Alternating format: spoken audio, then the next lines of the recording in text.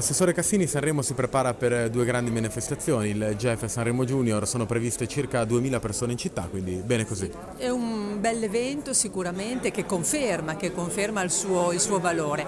Cominciamo subito con Sanremo Junior, da 18 paesi, tanti giovani talenti.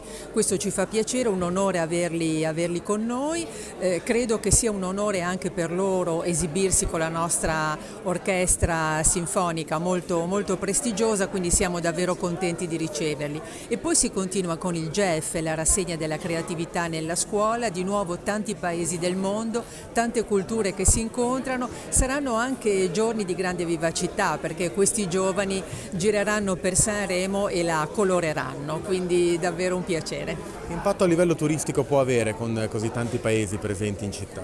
Ma sicuramente un, un, impatto immediato perché le presenze, come ha detto questa mattina l'organizzatore, il Cavaliere Alberti, sono di tutto rispetto, 2000 persone attese. E poi indubbiamente non dimentichiamo, non sottovalutiamo l'elemento importante del, della promozione a livello di immagine.